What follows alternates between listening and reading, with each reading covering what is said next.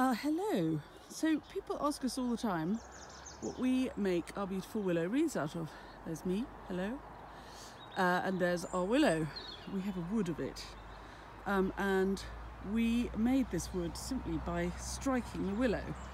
Uh, they've been here for a while, these trees, you can see them. They've got quite tall down there at the other end. Um, we moved here 14 years ago and the willows have been in probably some of them for 14, uh, none of them for less than 10 years. Anyway, they make this amazing flame red in the winter, but we also have black and green colours, as you can see. And this is what we make our wreaths out of. So here's some of our wreaths, getting ready to be dressed this afternoon. Um, and so for a one-off, we thought, since everybody keeps asking, we would cut some faggots, these are called, of willow for sale. So if you would like them, we have a very few for sale. Um, and you'll have to email georgie at commonfarmflowers.com to order them. We can send them UK wide by post and they're £25 including post, packaging and VAT. When the willow arrives, you want to strike it straight in the ground.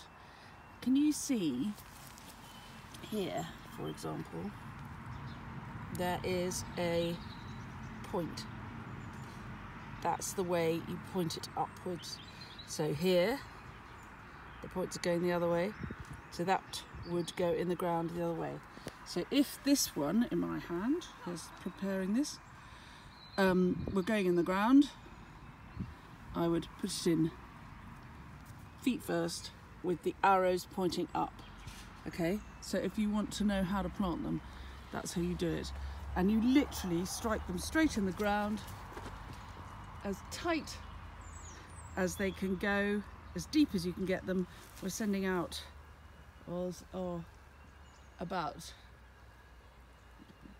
up to three foot long. They're not um, enormously long. And we're sending bundles of about nine, eight or nine stems. So 25 quid if you'd like a willow wood. You need quite damp ground. So if you've got somewhere with a pond or um, don't put them too close to the pond because they'll drain it. But if you have a boggy patch in your garden, the willow will love it. All right, thank you very much. See you later.